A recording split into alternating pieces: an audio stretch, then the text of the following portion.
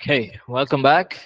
So let's pick up from where we stopped. We looked at Exodus 28 and how God, through His Holy Spirit, gave special ability to certain people to, you know, for the building of the tabernacle, furniture, for garments, the priests, for the garments the priest should wear. So, what do we learn from this?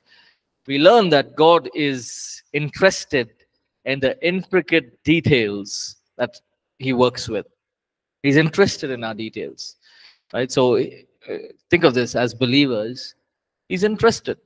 The Holy Spirit is interested in you, in me. He's interested in the smallest details of our lives. Right? It could be something very insignificant, but he's interested in it. Right? It could be, you know, you're praying to God for something very small, and sometimes we feel, oh God, you're very busy. You, I know you have a lot of other things to do. No, no, no. The Holy Spirit is interested in the intricate, smallest details of your life. Right? Right. Okay, let's get into Numbers chapter 11, 17. Now, we'll not read the whole passage. Numbers 11, we'll read a few portions so that we get a context, and then I'll just explain a few things from there. Numbers chapter 11, verse 17 onwards.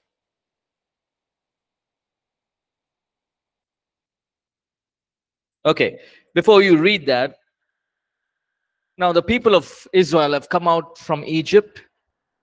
They've been grumbling, they've been murmuring. Right? Can you think of this? They are in bondage for 400 years. God does these great miracles in front of their own eyes.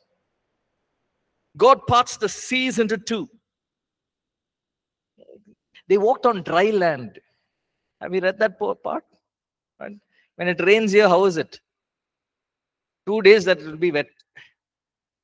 The people of Israel walked on dry land. They saw the pillar of fire. They saw the clouds that followed. They saw these great miracles of God. They've come out of Egypt. You know what they're doing? They wanted to kill Moses. They said, Moses, you brought us into this desert, and now we don't have food.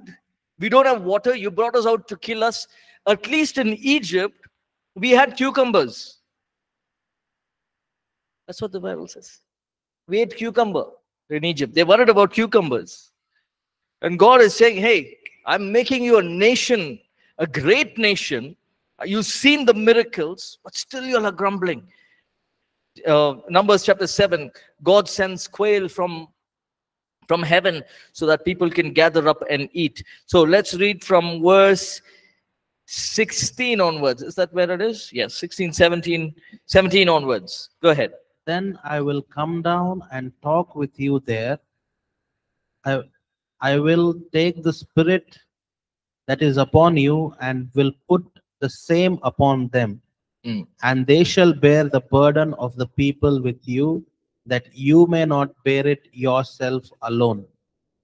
Okay, verse 16 will bring context. The Lord said to Moses, Bring me 70 of Israel's elders who are known to you as leaders and officials among the people. Make them come to the tent of the meeting, and then uh, that they may stand there with you. Then, verse 8, uh, 17, I will come down and speak with you. Now, here's what's happening Moses has brought this whole, you know, 3 million people out of Israel, now, you know, out of Egypt. Now, think of this. They're all fighting among themselves. And Moses is going and solving the problems. No, actually, you don't fight. You know, you know, be good to each other. Don't fight. You should share. Now, tell me something. Right? Moses is thinking, first I have to go speak to God.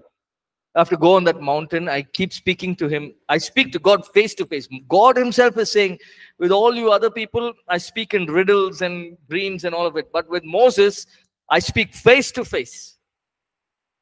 And now he's solving problems. You took more quail. You took my bed last night. You took, you know, silly problems. And now God is saying, okay, bring 70 elders come to the tent of the meeting. And when they are there, I will take some of the spirit from you and put it on the 70 people, the 70 elders there. What does he mean by that? It only means God is going to take some of the anointing, the anointing of the Holy Spirit that God has placed upon Moses as a leader, and I'm going to distribute it with the 70 people. The leading, the anointing of the Holy Spirit, the gifts of the Holy, the gift of leading. Now look at the life of Moses. What a what a life, right? He was trained in the palace, very well learned. Now, don't go by what that movie Ten Commandments shows. Right? If you have that in mind, please remove it. That's not how it is. When he was 40, he knew. He knew the book of uh, Acts, Stephen is saying, he knew that he was the one who God has chosen to bring the people of Israel out of Egypt. He knew it. But he tried to do it his own way. He killed the Egyptian. He had to run off. 40 years he waited. You know, very interesting. That's the best part about the word. In the book of Exodus, when he's under the bush, burning bush, what does he say? Moses says, I don't know how to speak. My tongue, tongue is tied. I don't know how to speak. The book of Numbers, he says, Moses was well learned and very eloquent in speech. Who wrote the book of Numbers? Moses. He only wrote it. What happened? This 40 years, right? 40 years of looking after his father-in-law's sheep. From where to where? From the palace to becoming a shepherd. 40 years humbled him. Now he's saying, I don't know how to speak. God says, listen, I'll speak for you. He says, still he says, no, don't send me. He says, okay, at least your brother will speak for you. But I'm sending you because I have chosen you, Moses. And so here the people of Israel were grumbling. These 70 leaders are there. God took the anointing, the grace of Moses, and distributed it among the 70. Now, they were lead, led by the Holy Spirit. If there were decisions to be made, they were led by the Holy Spirit right? If there was, you know, challenges and problems that are there, they were led by the Holy Spirit, right? Everyone with me? Okay. So, the, so let's go to Numbers 24. Now, Numbers 24 again is very interesting. Balaam. How many of you have read the stories of Balaam? It's a, it's a little. Uh, some of us may say, "I never went to the book of Numbers at all." I don't look at that book too many numbers. But this is a very interesting story. If you can, just take some time and read it. Now, Balaam, there was another person named Balak who was a Moabite. Uh, and, and he says to Balaam, Balaam, you prophesy and curse Israel. Balaam says, no, I can't curse Israel. I can't curse. Then he, but Balaam goes back to God and says, God, you know, Balak is saying you curse Israel. God says, don't even think about it. How can you curse what I have blessed? So he goes, it's a long story, but uh, I'm not going to narrate the whole story. He goes and says to Balaam, no, I'm not going to do it. Right? And this happens about three times. Balaam prophesied the work, prophesied by the Spirit of God. Right? He said, How can I curse what God has blessed? And he's pronounced a blessing over Israel.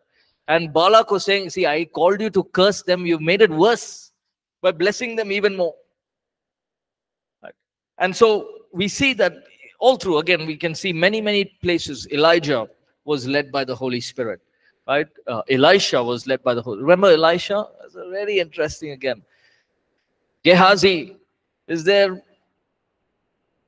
Again, he's led by the Holy Spirit. He says, Didn't my spirit go with you? I know what you did.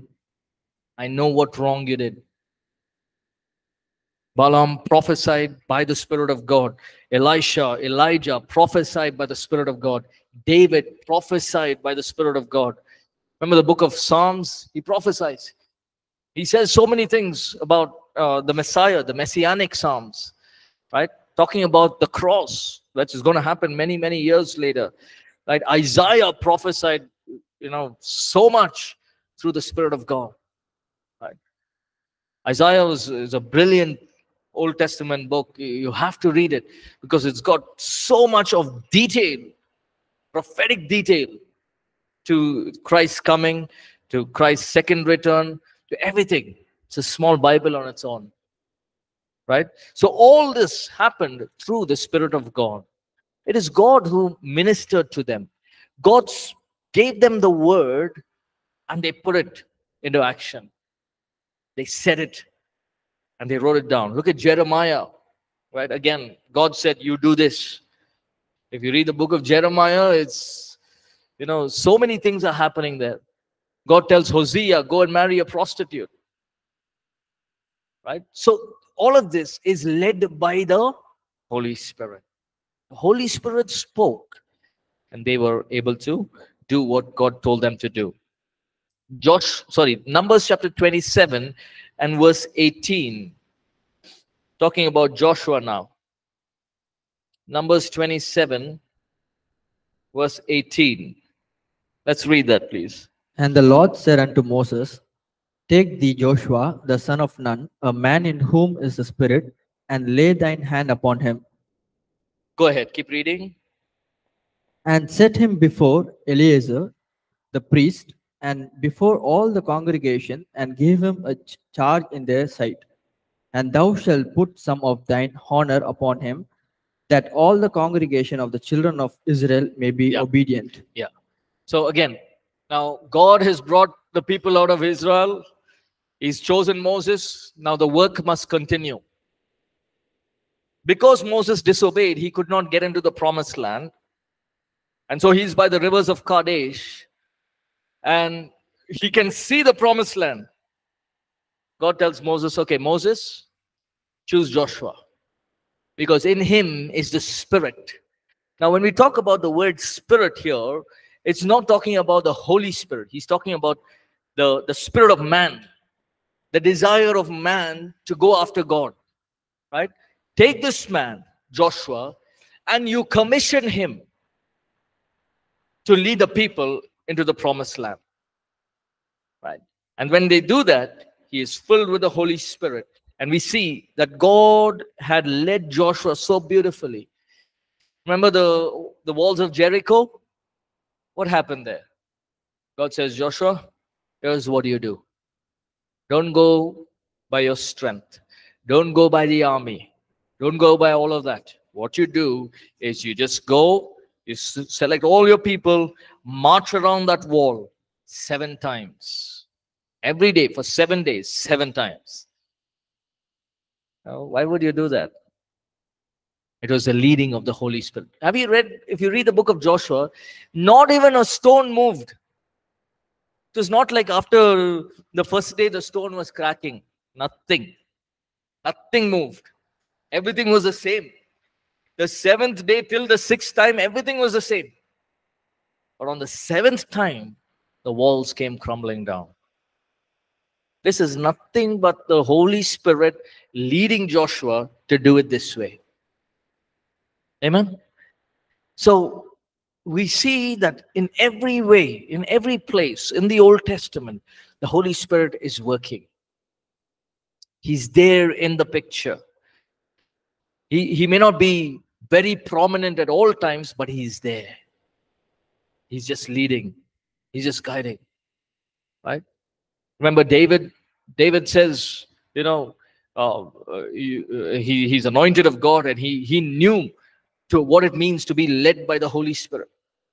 All of his Psalms was all about the leading of the Holy Spirit, how the Holy Spirit ministered to him in his difficult times. Bless the Lord, O my soul, and all that is within me. Why is he saying that? He's already hiding and running away from, from his, uh, you know, from his son. Bless the Lord, O my soul. I bless the Lord, even though I don't see it, I don't feel it. The Holy Spirit is saying, Bless the Lord, O my soul. So, all through the Old Testament, you see Jonah, you see Daniel, all the prophets, right? The work of the Holy Spirit. Then you also see it in the Judges when Israel was in danger. Israel was surrounded by nations, Babylon, Assyria, all these nations are coming against Israel. They wanted to destroy Israel. The Lord, the Spirit of the Lord came upon various leaders to enable them so that they'll be able to fight off the works of the enemy. Right? And one, one story is Gideon. Gideon's story is brilliant. Now you have an army coming against Israel. God says to Gideon, Gideon, you don't need so many people. So God, but there are you know so many people. It's a vast army. God says you don't need so many people. What you do is you, Uh, if you read the story, it's very interesting. God says you ask the people, whoever to, you know to drink of the water, whoever drinks like with the with, by cupping their hands, and whoever licks the water like dogs, you send them home. Only those who cup their hands and drink with their hands, you take them in the army. There were about 300 people left. 300 against thousands. God, God used them. The 300 was able to defeat the thousands. So sometimes, you know, as human beings, we sometimes look at things in the natural and say, God, it looks impossible. There are thousands of people. How can 300 go? See, when the Spirit of God is leading us, we are to be obedient to it because He has a way, He has a plan, He has a purpose. We may not understand the entire picture, but He does. He understands the big picture. He understands when we go through challenges. He understands when we go through difficulties. He understands the storms that we face in life. He understands. He knows it all. But here's the thing He has the bigger picture of what is happening. That's when the Holy Spirit comes and he, uh, you know, he ministers to us and he says, "Go back to work. Trust in the Lord. Trust in my work. It may not make sense to you now, Joseph. You're in prison. It may not make sense to you now, but you will understand why you're there. Daniel, you're being put in the lion's den now, but you will understand why you are there later on. Moses, right now you're looking after sheep. It's 40 years. I know it's difficult, but I know, I know that you are, you know, just waiting, but you will understand when the time comes. David, I know that I've anointed you when I was when you were about 12 years old, and you're waiting to become the king, but now you're running away from Saul, you're hiding in caves. You don't understand now, but there will come a time you will understand. And that's the responsibility of us as believers. Even as He orchestrates things in our life, we may not understand, but we walk in obedience. Right? And so we see this uh, in the book of Judges alone Othniel, Gideon, Jephthah, Samson. Uh, Samson was led by the Holy Spirit. Right? Now let's read uh, First Samuel and Second Samuel. Interestingly, we look again at what I spoke of the life of Samuel. First Samuel chapter 3 and verse 1. Now, everyone know who Samuel is? Yes? Who's he? Sorry? He was a man that I know. Who was Samuel? Prophet?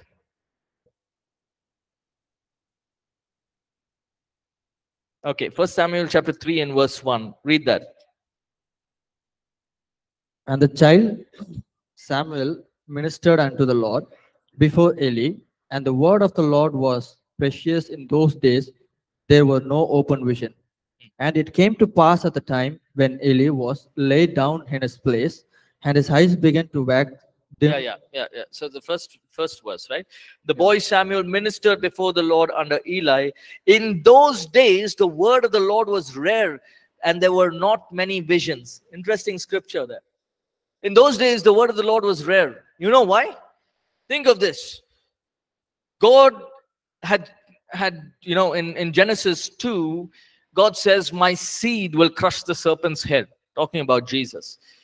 But then God sent prophet after prophet after prophet. He's going on sending prophets.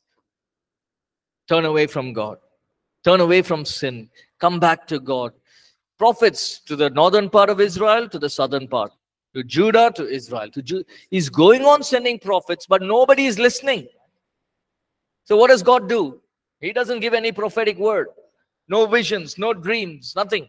And so during the time of Samuel, there was very, very little of visions and dreams and prophetic word. And God chooses Samuel at a very young age, right? And we know the story, right? He was sleeping and he hears a voice, and then it happens about two times. Third time, he says, Speak, Lord, for your servant is listening. So we see that the Holy Spirit chose Samuel. There was a there was a choosing there. Verse same same chapter, verse 19 through 21. Let's read. And Samuel grew, and the Lord was with him, and did let none of his words fall to the ground. And all Israel from Dan even to Beersheba knew that Samuel was established to be a prophet of the Lord. And the Lord appeared again in Sil- Siloah, for the Lord revealed himself to the Samuel and Siloah by the word of the Lord. Right. The Lord was with Samuel as he grew. Look at that uh, next portion there. And and all of Israel from Dan to Beersheba recognized that Samuel was attested as a prophet. Samuel was attested as a prophet, meaning the Holy Spirit is with Samuel. And he was attested as a prophet. So Samuel prophesied, right? Uh, If you can, you know, when, whenever you're free, go back and read Samuel chapter 5, 1 Samuel 15. Uh, go back and read it. And even you can also read Samuel chapter 13, uh, 1 Samuel chapter 13. Just read these. You see how brilliantly prophetic and to the detail Samuel was. It cannot be done by the flesh, it was the Holy Spirit just revealing to him. Uh, then we look at Saul. Saul, the uh, uh, in the Old Testament, Saul, who became the king, the first king of Israel. First Samuel chapter 10, verse 6 and 10. Go ahead, read it, please. And the Spirit of the Lord will come upon thee, and thou shalt prophesy with him, and shall be turned into another man. Right. So again, this is the choosing of Saul, the prophet, Saul the as a king. The same, the he you know uh, Samuel prophesied, and when the Spirit of the Lord came upon him, Saul also prophesied.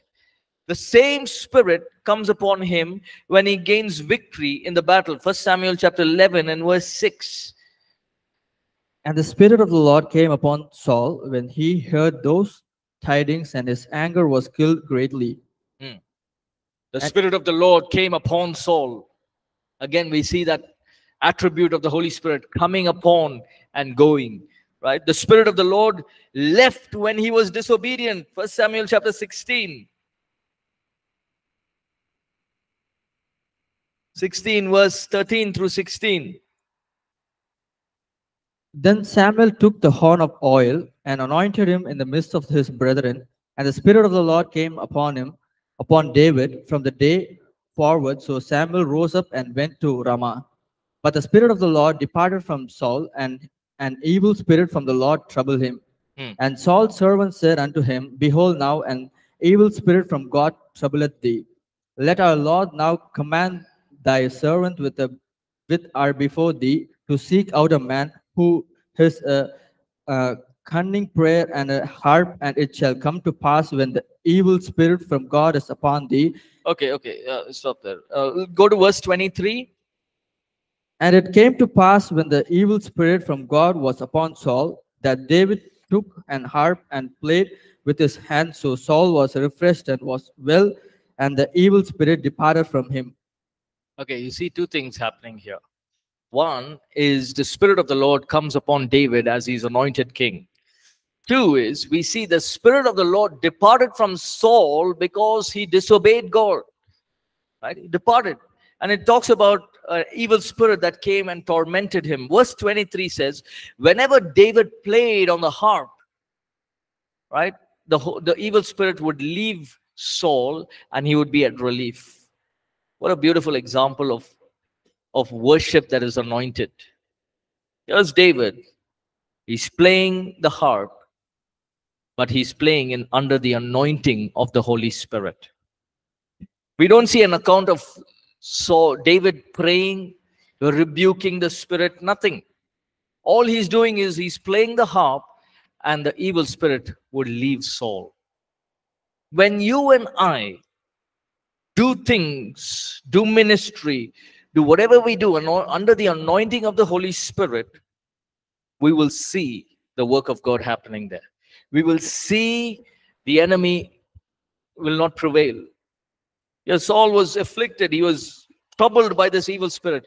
Just a few, just maybe a song from David under the anointing of the Holy Spirit. That evil spirit had gone. The Spirit of the Lord and when you look at David, the Spirit of the Lord came on him from that day forward. First Samuel 16 and 13 says that. So when Samuel took the horn of oil and anointed him in the presence of his brothers, from that day on, the Spirit of the Lord came upon him. Now, think of this.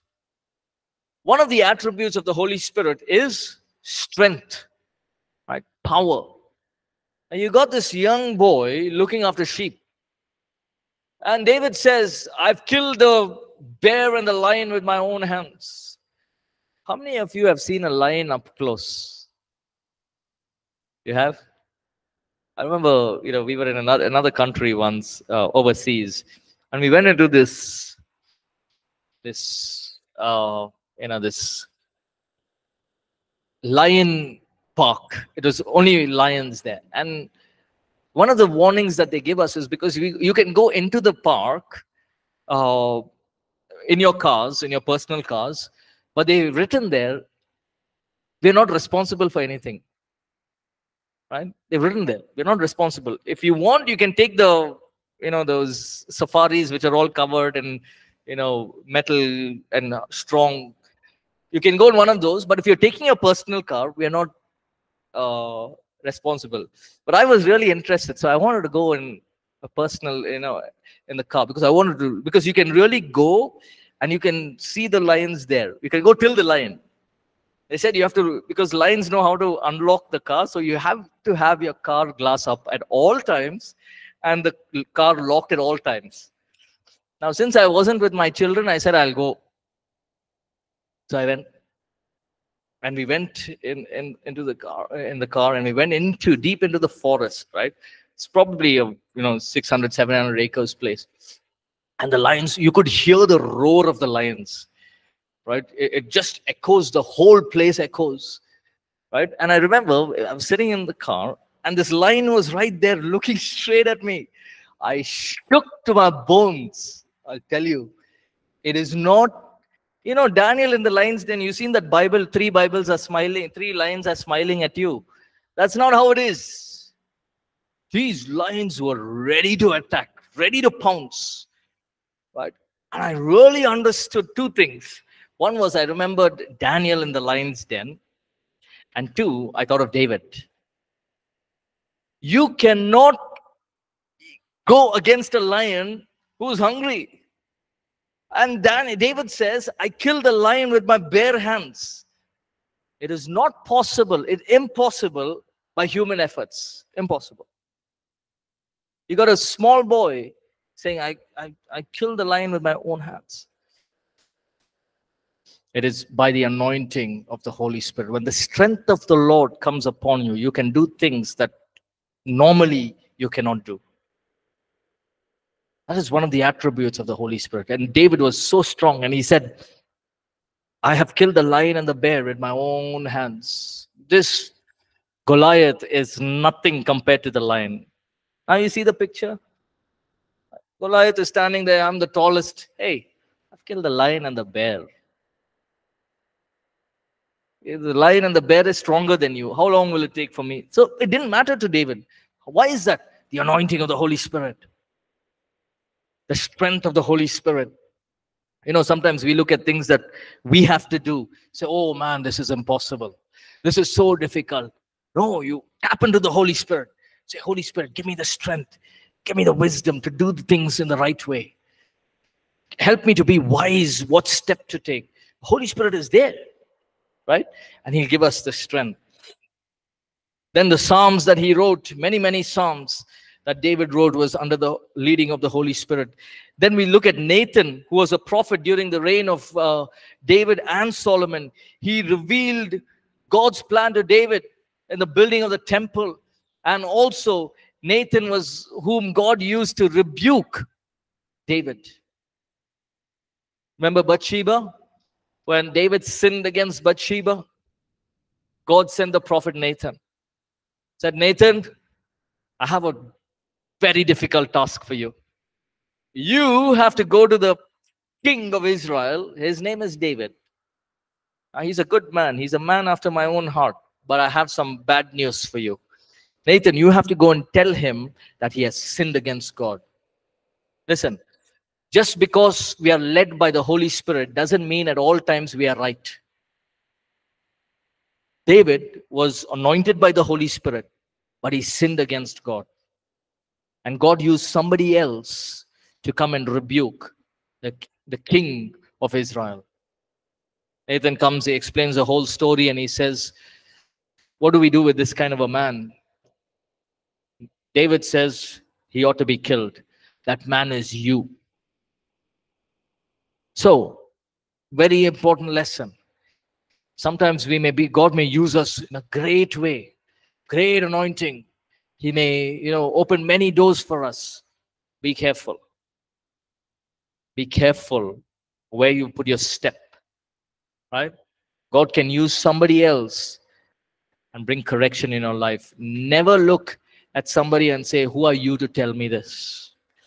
What did David do? David said, Yes, I have sinned against God. I've sinned against God. And he changes his life. He says, he goes back, he puts on sackcloth ashes, he changes. He writes Psalm 51. He says, Create in me a clean heart, O God. Renew a right spirit within me. I've done, I've done a sin, I've sinned against you. So he gets his life back. Have you ever wondered why God calls David the man after my own heart? He did so many things wrong, but sorry? Yeah, very true. He understands. Right? Uh, David did so many mistakes. Says he's a man after my own heart. His heart was right before God. That's what God looks at. Right? Then we see the Holy Spirit in first and second Kings. Let's open and look at the life of Elijah. Everyone with me? Okay, the book of First Kings in the life of Elijah. First Kings chapter 18 and verse 12.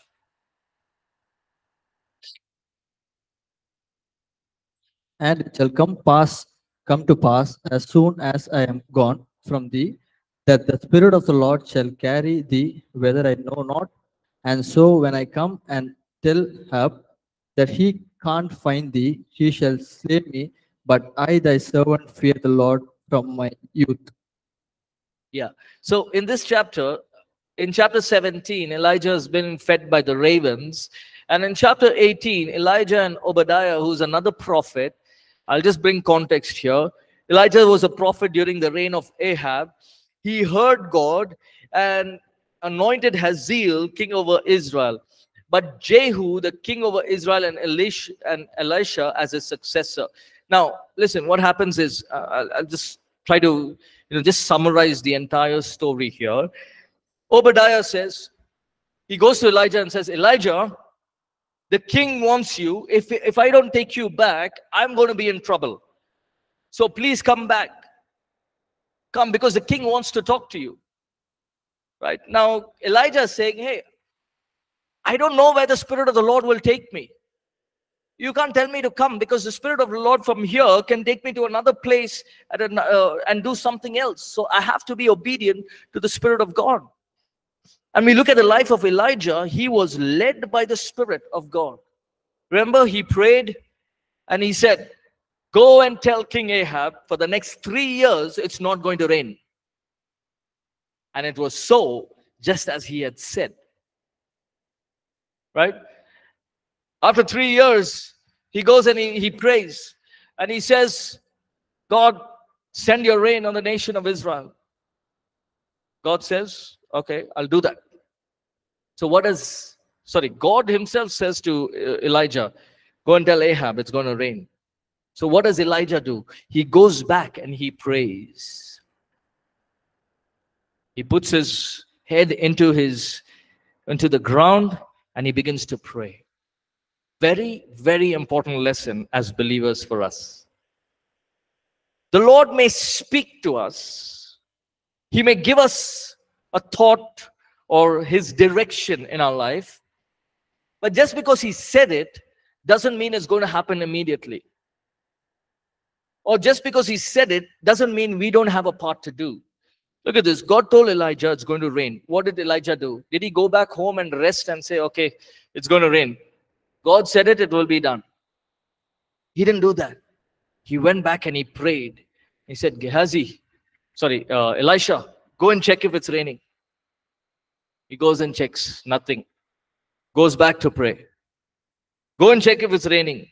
Not raining. Six times that happened. Seventh time he says, Elisha, go and check if it's raining. And when he goes there, he says, Okay, Elijah, I saw the clouds. There was a small cloud in the size of a fist.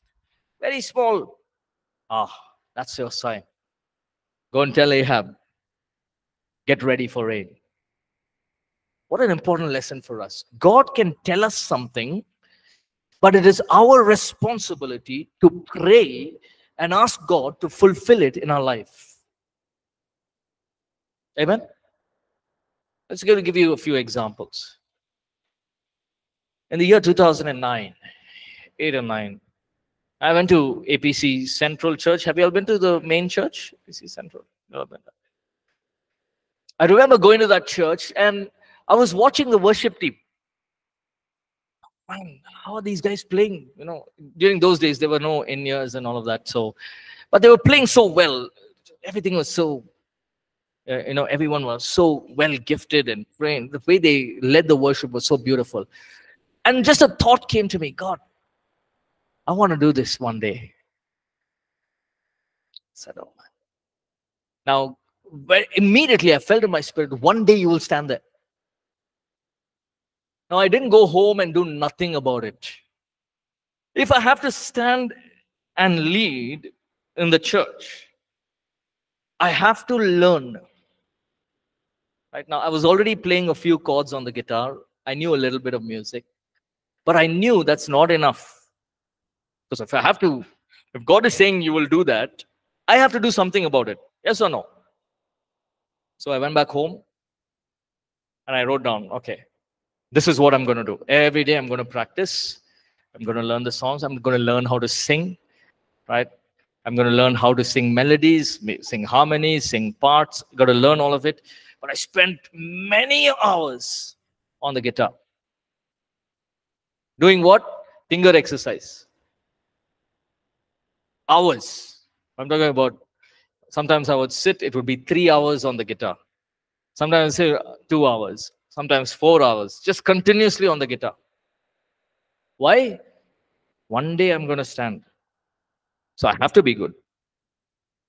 So many, uh, many, many years I practiced. I would sing. And you know what I would do? I remember I, I, I bought the guitar and I would stand in front of the mirror. Okay, shall we rise up in the presence of God? Congregation, please rise. Yeah. So I would read a verse from the Bible and I would lead the worship for 50 minutes. I would make five songs. 50 minutes under the mirror alone. My parents thought I was mad. But 50 minutes every day, exhorting everything. Every single day, either morning or evening.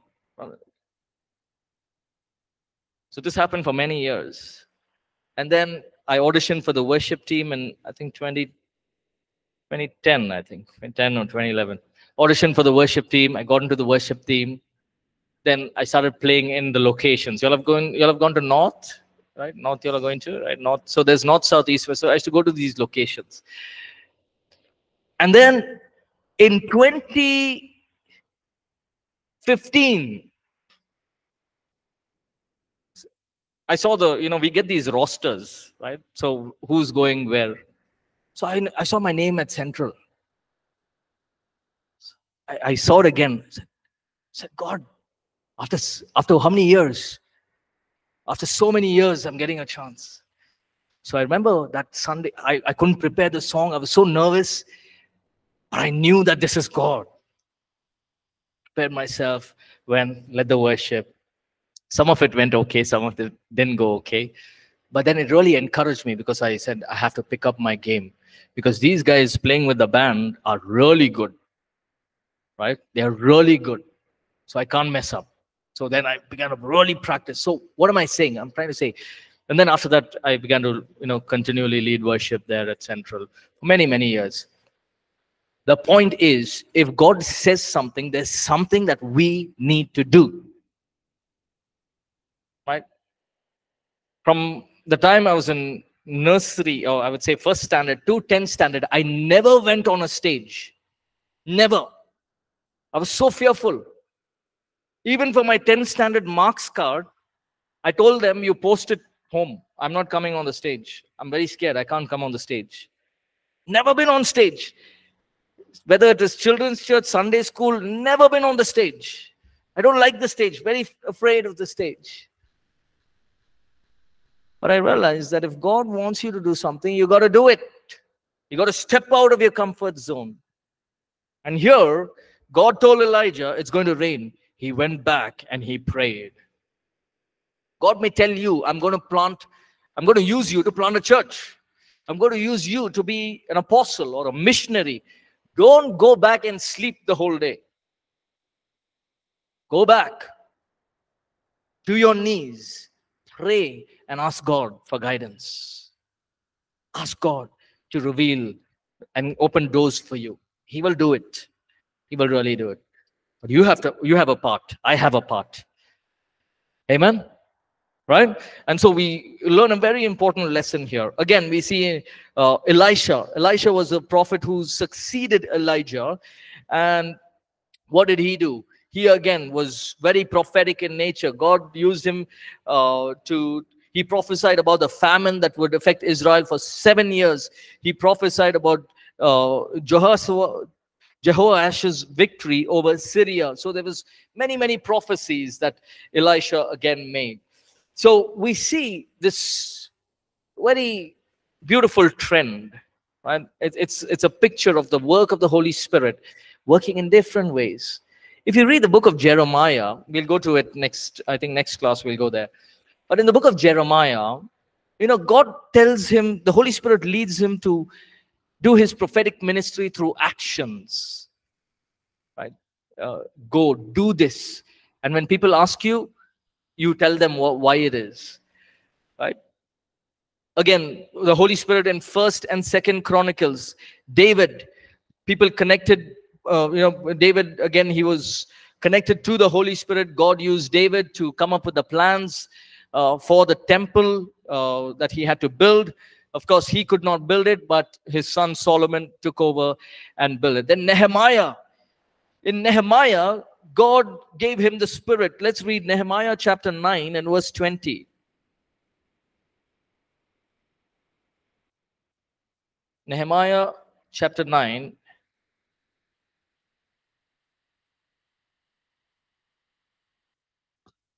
Thou gavest also thy good spirit to instruct them, and withheld not thy manna from their mouth, and gavest them water from their thirst. God gave them the good spirit to instruct them. Now, if you read the story of Nehemiah, it's a wonderful story because he's, you know, he's he's a man who did something so wonderful where he went to the king. He rebuilt the walls of Jerusalem and the gates. He was burdened to do it, and the Holy Spirit led him as to how to do it. What was Nehemiah's occupation? He was a cupbearer, meaning he had to take the cup of wine, go to the king, make sure everything is all right. No? So, but God used him as an engineer to build the walls of Jerusalem and the gates were rebuilt. So God gives his good spirit to us and he will instruct us and lead us. Right? So what we'll do is we'll stop here and we'll start from Job next week onward. So can you just put a mark there? Uh, we'll start from Job from the next week. I've got a question here. According to the verse, 1 Samuel 16 and verse 14, it is said that a harmful spirit came from God. So does that also, so does God also give harmful spirits? Okay. Now we must always take text to context, right? God is a good God. God is a loving God. God is a God who blesses. That does not change. So to answer your question, the spirit that came was not from God, meaning when we, as believers, or even when we look at the life of uh, Saul, King Saul, he chose to disobey God. When he disobeyed God, he opened the door for the enemy to come in. Now, God didn't stop that. God allowed the enemy to work in his life because he opened the door. Right? So it was it was not like God sent it. It was not like God sent that spirit.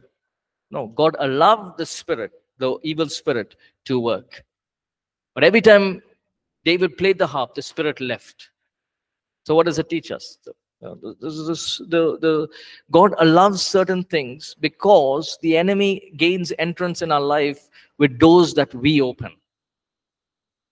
Remember, uh, Peter writes and he says, "Be aware the the enemy is like a roaring lion trying to devour us. He's just looking for a way.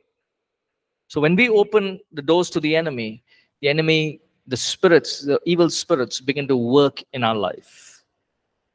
So I hope that answers your question, Shubham. Yes. All right, so let's close here. Any other question? Yes. Uh, can you just give the mic, please?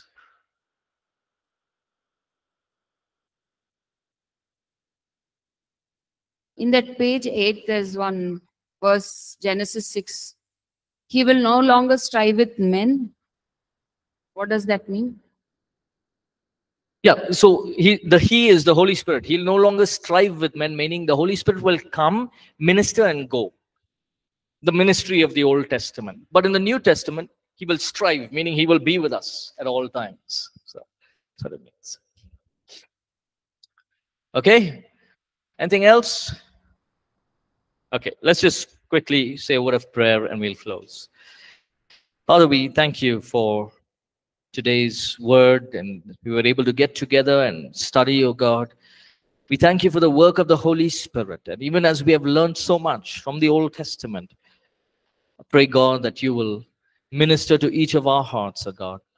Lord, if there are areas in our life that we have to confess and things that we have to remove from our life, oh God. I pray that through the anointing of the Holy Spirit, you will enable us.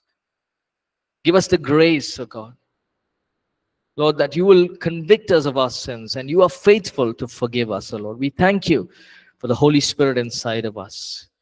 Lord, we pray that you will continue to minister to each and every one of us. Bless each student of God who is learning. I pray that, Lord, you will speak to their hearts.